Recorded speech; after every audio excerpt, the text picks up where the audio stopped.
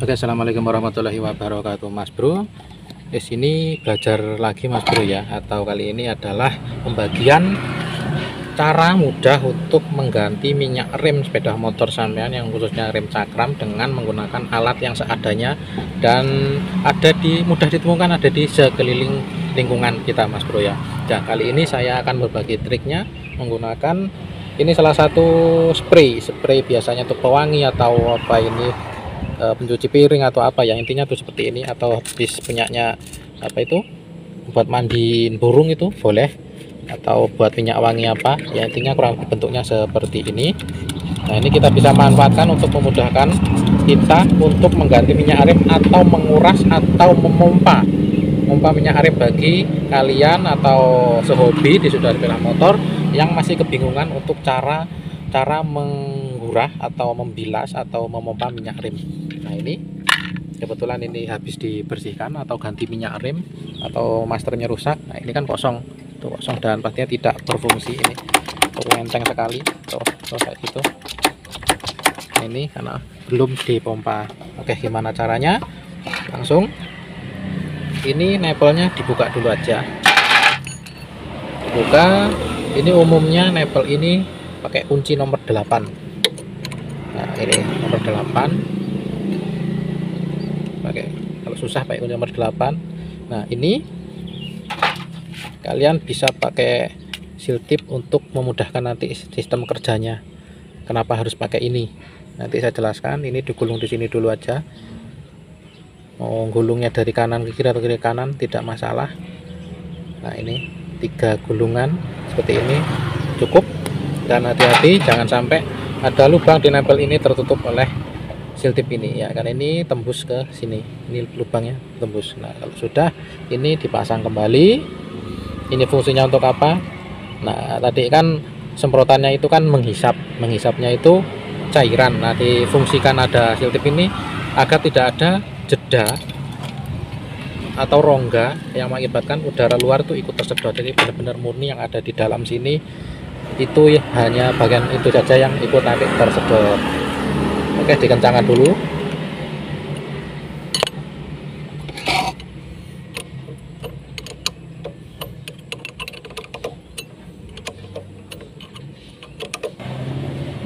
Oke ini udah kencang ya. Tuh kencang. Agak sekarang dikendorkan tadi kan kalau kencang ya kekunci agak dikendorkan sebentar diatur kameranya. Oke kendorkan cukup segini. Ya, cukup. Udah udah kamera udah posisi sekarang ini media atau medianya tadi ini ini bisa dilepas bagian sini mas bro. Selangnya bisa lepas langsung saja. Saya menggunakan selang. Ini adalah biasanya pada sepeda motor itu ada di aki basah atau bawaan dari aki basah seperti ini. Ada selangnya ini kita bisa manfaatkan karena lubangnya pas sekali di sini. Pas ukurannya. Tuh bisa masuk tanpa harus diikat-ikat. Nah seperti ini. Lalu ini akan dimasukkan di sini di nipple tapi sebelum itu ini dites dulu benar-benar berfungsi atau enggak. Dan ini juga diusahakan diisi air nantinya cairan dulu. Karena apa? Untuk memudahkan sistem pemompanya tadi. Kalau nah ini ada airnya di dalam ini ada cairannya nanti langsung tersedot kalau ada rongga-rongga udara nanti lama prosesnya lama. Oke ini sudah airnya sudah masuk. Di sini biasanya ada tertera. Untuk tutupnya ini ada off dan on. Ini di off kan dulu. Nah, off kan nanti nggak turun. Ini waktu digerak-gerak ini nggak turun tuh. Airnya masih ada di sini. Nah ini fungsinya untuk apa? Untuk untuk mempercepat mempercepat proses pemompaan minyak rem ini dilepas dulu aja ntar agar prosesnya kelihatan nanti mas bro. Nah, ini kalau susah kalian bisa pakai tang untuk media membantu memasukkan selang ke nep jub nepel tersebut. Oke nah, sekarang yang di atas ini diisi minyak remnya diisi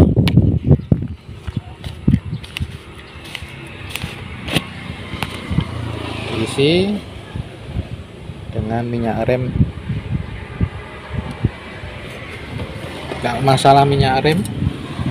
Kalian nanti atur aja sampean sukanya dengan merek apa silahkan. Lalu sekarang tinggal finishingnya pengerjaannya. Ini tadi kan ditutup. Tuh. ini lepas sambung lagi. Nah, ini tadi tertutup. Off ya sekarang di on. Oke spray tulisannya sekarang coba ditekan tuh masuk ya. Kelihatan ya mas bro ya. Sirkulasi pergantian minyak remnya kelihatan sekali. Tuh oh ini agak nyebar? Spraynya nyebar. Nah, nah, ini, ini masih air biasa. Nanti kalau minyak remnya keluar warnanya berubah jadi sesuai minyak minyak rem tersebut warnanya apa warnanya misalkan kuning atau merah. Nah ini kelihatan deh ini ya berubah. Ini warnanya merah berhubung selangnya hijau jadi kurang terlihat. Oke oke mulai terlihat. Masuk sini dan sediakan wadah biar minyak remnya tidak ke mana-mana. Oh sebelumnya pastikan juga yang di atas jangan sampai lupa. Nggak dicek tuh tinggal sedikit kalau kelupaan ya nanti ngulang lagi dari awal. Oke. Oke lanjut udah diisi. Ini ya warnanya kan hitam tuh. Tadi aja merah. Oh kelihatan? Enggak kan? nah. Enggak. ya. Tuh mompa sip. Ada mengikut ngobrol tetangga. Nah.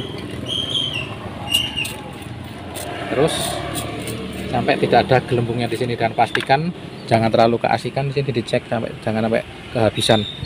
Sip sudah selesai. Ya sudah sekarang di ditutup. Dikunci kembali. Ditutup. Ah, sip. Sekarang dipompa di atasnya nah dapat oke sudah dapat proses pompaan minyak rem sudah selesai dengan menggunakan alat atau media yang mudah kita dapat yaitu spray alat seperti ini bisa membantu kerjaan bengkel kita atau hobi kita. Kalau sudah ini sudah minyak remnya dibilas pakai air keran agar tidak mudah e, merusak cat yang ada di sepeda motor. Ini minyak remnya di atas disesuaikan saja. Kalau kurang penuh ya disesuaikan. Diisi dulu ini kurang penuh oke ini ada batasnya lalu ditutup.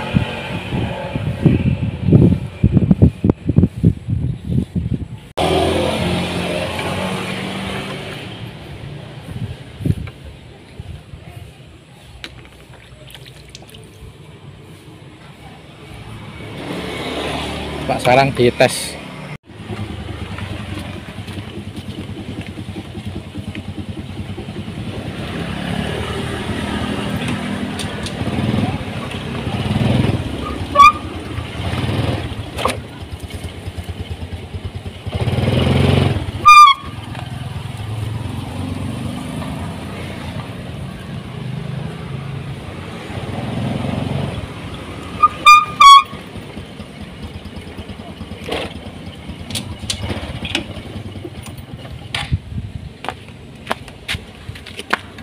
Oke Mas Bro proses pemompaan minyak rem dengan alat seadanya metode seadanya.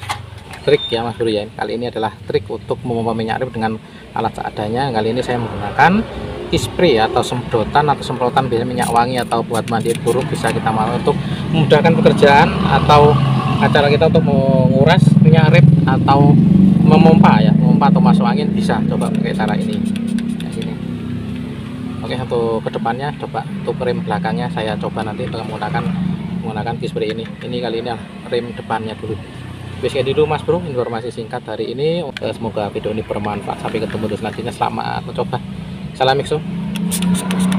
Sip fungsi